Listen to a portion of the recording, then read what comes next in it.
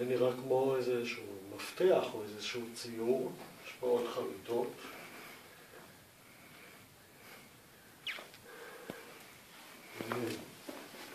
פה יש צלב, וואו, יש פה צלב, צלב חרוט,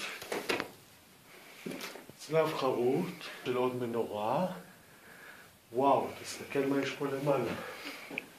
יש פה מנורה, שאלה אם יש לה שבעה קנים. שאלה אם יש לה שבעה קנים. שם לב, יש לה את קנים. את הרגליים. תן לי שנייה לעלות. תן לי רגע לעלות.